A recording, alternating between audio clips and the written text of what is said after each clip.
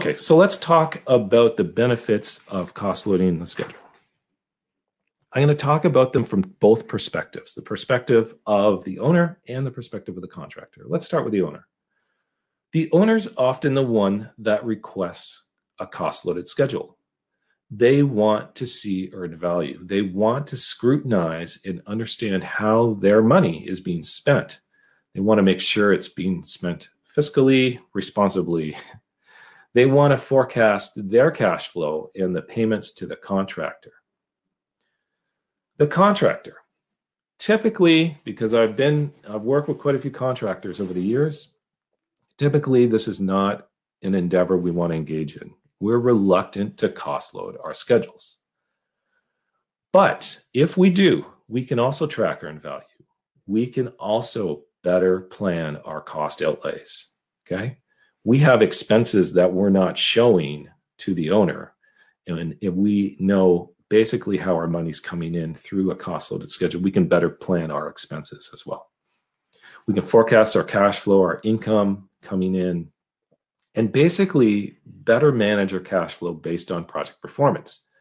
And that last one is really the key here. It's about when work starts getting delayed or there's changes, that cash flow is going to change from the initial baseline that was approved as the baseline. And that's what we want. That's the real advantage here is being able to forecast as the changes to the project occur what my cash flow is going to be. Remember, we're talking about a fixed bid. So all of my costs are fixed and they don't vary with duration of the project. So if I'm late, then I'm still getting paid the same amount as whether I'm not late or I'm on time. Okay, there's some trade-offs I want you to be aware. I've thought about these quite hard.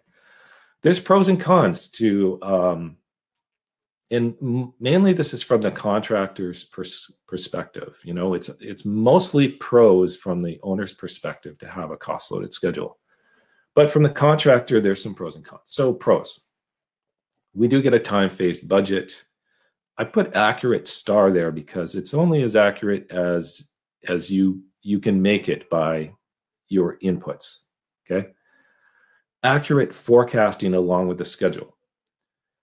Accurate cash flows. And then just more or less, like I said, the ability to be proactive in managing our costs because we have them all there changing as the schedule changes. Let's talk about the other side the cons. Why are we reluctant to do this? Well, there's a couple of reasons. It takes work. It takes effort to cost load a schedule. Um, my experience that we're going to talk about today is cost loading. You know, a very size, um, a very reasonably sized project, 2,000 lines. I didn't make it any more than 2,000 lines because the bigger they get, the harder they are to manage from all aspects. So it does take effort to put costs in to manage those costs it takes effort to maintain. It takes effort for uh, changes to look at a change request and change a schedule from from not just the um, not just the time aspect, but also from the cost aspect now. Also, some stuff doesn't work in P6. You can't put all of your costs in there. Okay, just like P6 is not a timesheets tool. Don't put all of your hours in there and try to track every down to every minute. It's not sophisticated enough. Um, my example here, and I'll talk about this more later, is interest. You can't put interest charges in P6. It just doesn't do it. It's not accountant. It's not an accounting tool. It's not an invoicing tool either.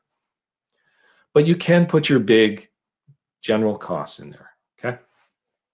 One of the other cons here is sharing the schedule that has costs on it requires some extra transparency. And most contractors like to keep things pretty close to their chest. And they have good reason to. I'm not judging them.